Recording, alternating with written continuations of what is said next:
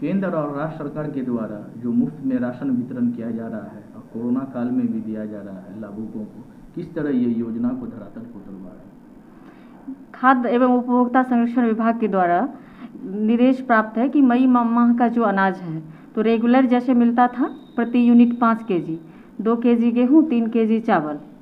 तो वो तो मिलेगा ही, साथ ही जितना प्रति यूनिट पाँच के जी फ्री राशन भी मिलेगा।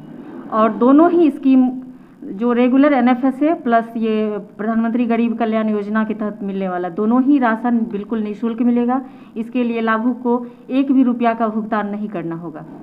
इसका प्रचार प्रसार कैसे किया जा रहा है? लाभुक इसका प्रचार प्रसार सेक्रेटरी सर के द्वारा सभी वीडियो कॉन्फ्रेंस के द्वारा बताया गया कि सभी डीलर को अपने अपने क्षेत्र के अंदर ई रिक्शा साइकिल या यानी कि विभिन्न तरीकों से लाभुक के बीच में प्रचार प्रसार करना है कि ये राशन का वितरण शुरू हो गया है। ये दोनों स्कीम का अनाज आप दुकान पर आके छः बजे से दो बजे का टाइम है उन अनाज वितरण का। तो उसमें वो आके अपना ले ले निःशुल्क और जो कोविड का गाइडलाइन है उसको पूरी तरह पालन करना है।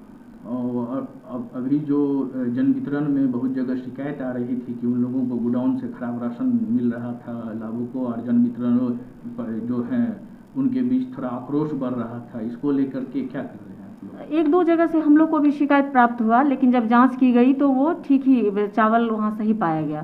तो मेरे ख्याल से शिकायत निराधार ही साबित हुआ दो जगह पे जहाँ पे हम लोग जाँच किए हैं। तो इस तरह का कोई मामला नहीं है। शहरी क्षेत्र सहरसा अंतर्गत सभी विक्रेता को स्पष्ट रूप से कह दिया गया है कि अगर थोड़ा सा भी, एक भी बोरा कोई डैमेज है चावल तो उसको इमीडिएट अपने पदाधिकारी को सूचना देते हुए एक्सचेंज कर लें। किसी भी परिस्थिति में लाभुक के पास खराब खाद्यान्न नहीं जाना चाहिए। गुणवत्तापूर्ण चावल और गेहूँ का ही वितरण करना है। और यहाँ पर वितरण हो भी रहा है। उस तरह का कोई भी मामला शहरी क्षेत्र अंतर्गत नहीं अभी तक पाया गया है कि खराब खाद्यान्न का वितरण किया गया है। एकदम सही गेहूँ और चावल का वितरण किया जा रहा है। बिल्कुल निःशुल्क कोविड गाइडलाइन का पालन करते हुए वितरण